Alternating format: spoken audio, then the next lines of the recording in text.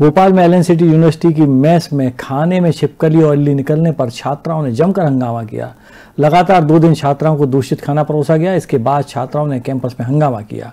शिकायत पर यूनिवर्सिटी प्रबंधन ने खाना बनाने वाले वेंडर को पंद्रह दिन के लिए सस्पेंड कर दिया है। भोपाल में एलएन सिटी यूनिवर्सिटी के हॉस्टल के छात्र छात्राओं का आरोप है कि आए दिन खाने में छिपकली और इल्लियाँ निकलती हैं। इधर खाद्य विभाग ने भी निरीक्षण कर बेसन, तुअर दाल के नमूने लिए वहीं खाद्य पदार्थों की नियमित जाँच कर्मचारियों के मेडिकल सर्टिफिकेट भी नहीं मिले एलएनसीटी समूह ने इस मामले में कैटर को कार्य सुधार नोटिस जारी किया है। इधर प्रशासन ने कहा है कि 10 दिन के भीतर सुधार नहीं किया तो फ़ूड लाइसेंस निरस्त किया जाएगा।